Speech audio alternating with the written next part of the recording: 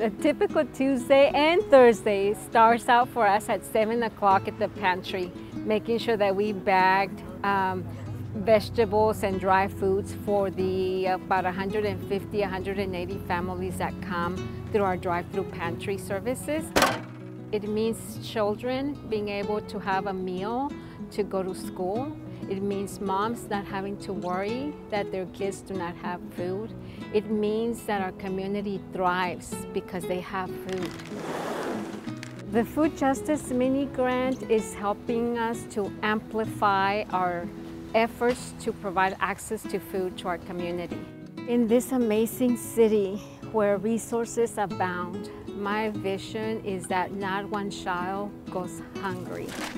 Our partnership with the city has been critical in, in uh, supporting community and for that I am so thankful. One of the major contributors to our health and our wealth is access to food. And justice is about that, is access.